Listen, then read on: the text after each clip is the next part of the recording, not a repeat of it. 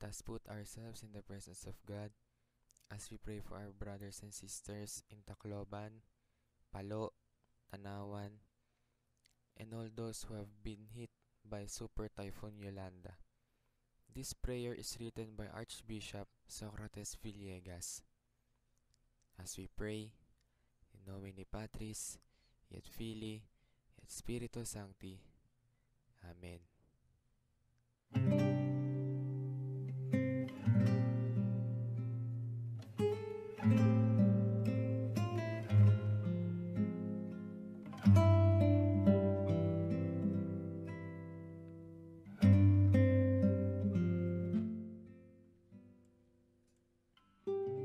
Lord, we are in great need.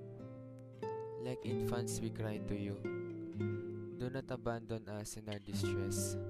We kneel in disbelief. How could you, dear Lord, have allowed this to happen to us who call on your holy name? Have you abandoned us, Lord? Are you punishing us for our sins against you?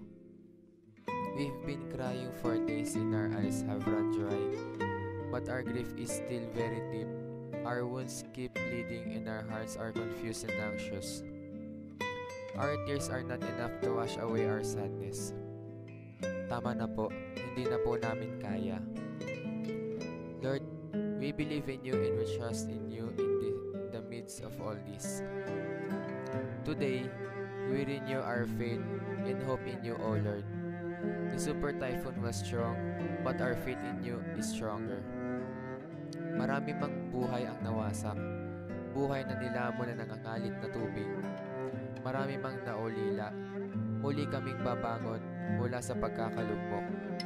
At mula sa isang bangungot ay gigising sa isang bagong araw. Dala ay bagong pag-asa, bagong pangarap, at bagong pagtingin sa hinaharap. You command the winds and the rains to cease. Please, Lord, spare us from more typhoons and storms and earthquakes. We feel bruised from all sides, battered from top to bottom, and beaten up inside and out. Please consider our sufferings more than we can face. Tama na po. Pero kung kalooban mo, Panginoon, na malampasan namin lahat ng kalamidad na dumating sa amin, para kami ay maging malinis at tumibay bilang isang bansa. Buong pananalig namin itong tinatanggap. Ang tanging hinihiling namin, Panginoon, naway patuloy mong mahalin ng Pilipinas at kailanman huwag mo kaming pababayaan at uulilain. Ang pag-ibig mo, Panginoon, ay sapat na para makayanan naming harapin ang anumang bagyo.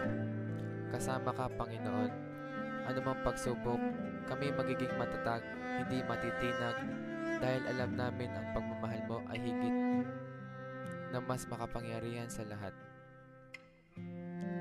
Kahit pa sa kamatayan. Amen. Amen. May your will be done. Stay with us, Lord. Amen.